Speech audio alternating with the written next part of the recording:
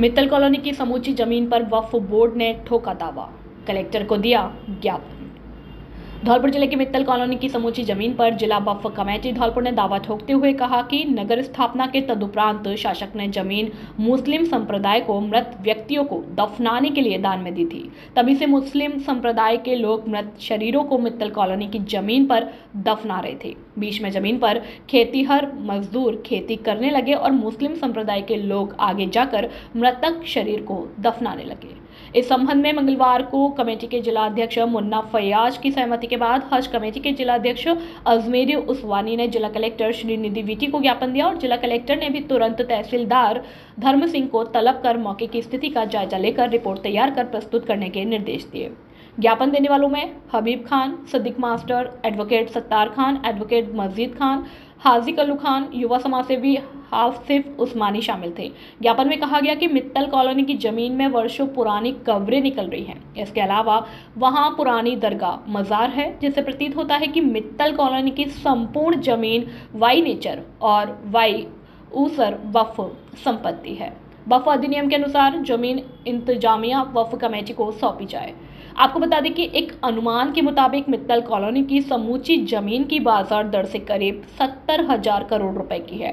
मुस्लिम संप्रदाय के उम्र दराज लोग भी ज़मीन को कब्रिस्तान ही बताते हैं, लेकिन रेवेन्यू रिकॉर्ड में ज़मीन कब्रिस्तान के नाम से दर्ज नहीं है। भू कारोबारी ने इसी का लाभ उठाते हुए मौके पर बैठे किसानों से ज़मीन खरीद ली और आवासीय एवं व्यावसायिक भूखंडों में तब्दील करती बेच दी। ज़मीन को लेकर कई बार आपत्ति भी दर्ज कराई गई, लेकिन शिक्षा और जागरूकता के अभाव में भू कारोबारी सरकारी ज़मीन को खुर्द करता रहा। मोहम्मद फारूक, वफ कमेटी, उपाध्यक्ष और जो हमारे कलेक्ट्रेट के बगल से मित्तल कॉलोनी में जो प्लॉटिंग की जा रही है, उसमें हमारे पूर्वजों की कब्र और मज़ार बने हुए हैं, जिसको जेसीबी द्वारा खोदा जा रहा है। हमारे कई बार शिकायत करने पर वहाँ उस पर कोई रोक नहीं लगाई गई है। इस वजह से हमने आज जिला कलेक्टर साहब के यहाँ सारी कमेटी ने इकट्ठा होकर इनको ज्ञापन दिया है और उनकी शिकायत दर्ज की है कि जो हमारे बुज़ुर्गों की कब्रस्तान है उनको ना तोड़ा जाए उस पर जेसीबी ना चलाई जाए। जो भू माफिया हैं वो वहाँ पर प्लॉटिंग कर रहे हैं और हमने जिला कलेक्टर साहब से यही निवेदन किया है कि जहाँ जो जेसीबी चल रही है उसको रुकवाई जाए और हमें हमारी जमीनें वापस दी जाए। आज आपको न्याय की उम्मीद कितनी है? न्याय की उम्मीद आए हैं कि जिला कलेक्टर साहब के पास में न्याय होगा हमारे साथ। हमें यकीन है और मैं हाजी अजमेरी, अध्यक्ष, जिला आज कमेटी धौलपुर, जो मित्तल कॉलोनी के अंदर भूमाफियाओं की तरफ़ से जो प्लॉटिंग का काम किया जा रहा है, उसमें हमारे पूर्वजों की कब्रें हैं और वो सारी ज़मीन हमारे कब्रिस्तान की है, जिसकी कब्रों को तोड़ तोड़ कर ख़त्म किया जा रहा है और जहाँ भी कब्रें निकल रही हैं, उनको मिट्टियों से दबा के बंद किया जा रहा है।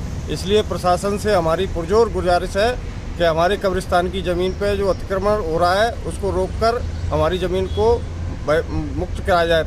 ये हमारे को मालूम हुआ है कि ये इनने कलेक्ट्री के पीछे जो भी ज़मीन पड़ी है, मित्तल कॉलोनी के नाम से बजी है, उसमें हमारा पूर्व वजों का कब्रस्तान है, जिसको इनने खुर्द बुर्द कर दिया गया है जहाँ खोदने के बाद उसको इकट्ठा कर दिया गया है। जबकि जहाँ देखें तो बहुत कब्रें हैं उसके हमारे पास प्रूफ हैं और सारी चीज़ें मौजूद हैं।